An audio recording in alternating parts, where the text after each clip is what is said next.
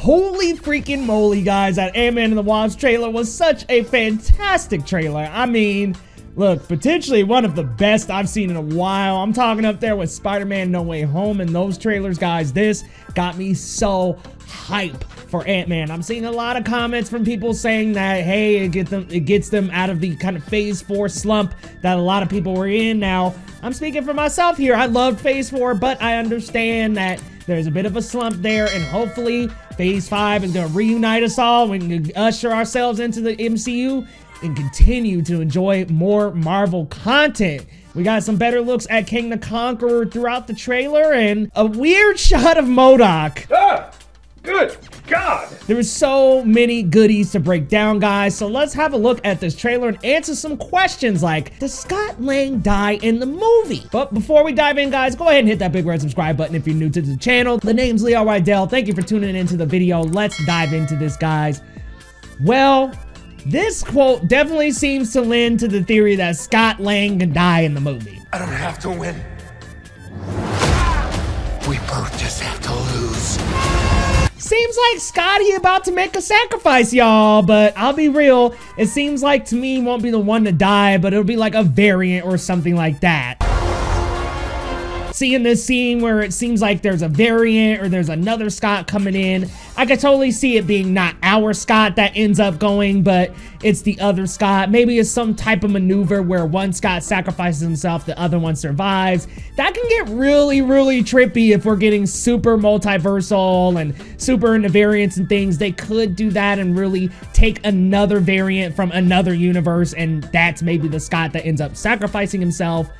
I don't know. You guys got to let me know. Do you think Ant-Man is to die? But I mean, it could be Scott. But we all know from trailers, especially from Multiverse of Madness, and how that trailer illustrated that the Illuminati would be a lot more important than they ended up being in the movie. So it could very well just be a couple of misdirects here, and maybe it's just hey, it seems like it's going to be Scott that dies, but it's Hope that bites the, the, the, dust. And I definitely think I definitely think she's on the chopping block. I think her, Hank Pym, Janet Van Dyne, I think that those three are definitely going to end up dying, unfortunately.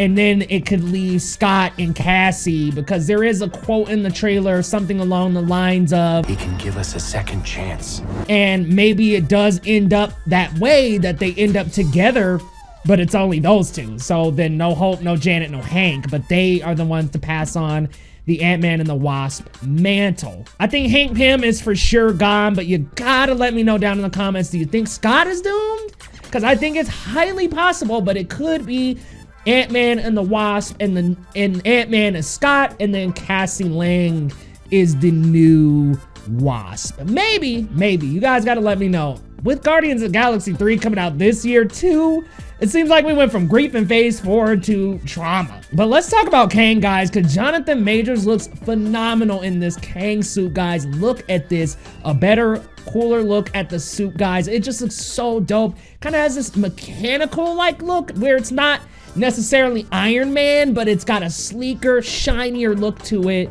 And it sounds like he makes some kind of deal with Scott to borrow time. Who can give you the one thing you want? What's that? time. And Scott, likely thinking he'll help, is going to miss something in that bargain. It sounds like he's going to lend Scott a little bit more time, maybe some more time with Cassie.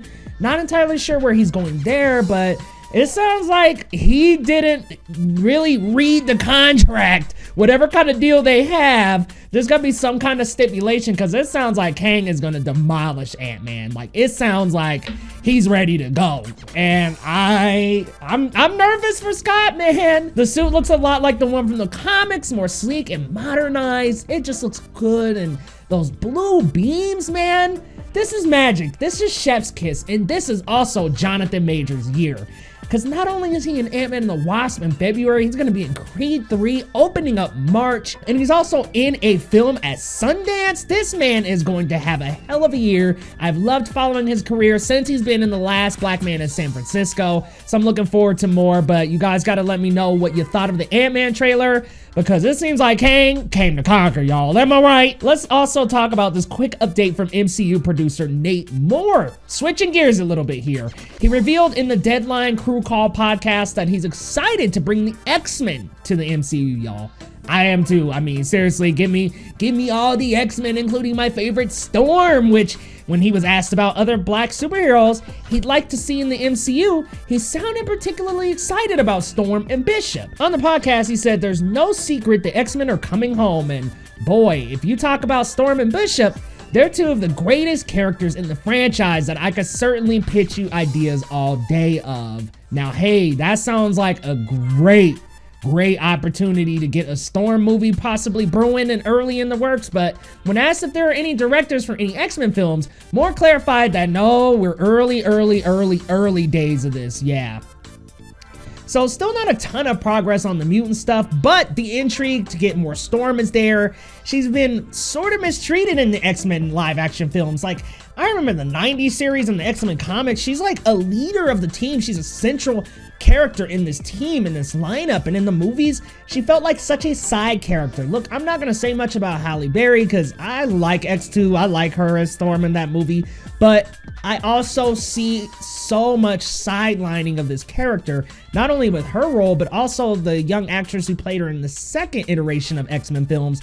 She's just been pushed to the side every single time, and I hope possibly, potentially, somehow we could get a bigger role for Storm in the MCU and in the mutants and live action movies going forward. And it, of course, it'd be great to get Bishop, but y'all gotta let me know. What did you think of the Ant-Man and the Wasp trailer? Do you think Scott Lang is dying? And if so, let me know why. If not, let me know. Do you think Hank, Hope, and Janet also go then? Do you think it's those three and Scott survives? Let me know your theories and thoughts down in the comments. What do you think about Kang the Conqueror? Because I'm going to be real with y'all now. I feel like I'm Team Kang after watching that trailer. But let me know your thoughts down in the comments. And hey, if you're new to this channel and you ain't viewed the channel before, hit that subscribe button for your boy. And y'all, we'll see you next time on Geekly Goods.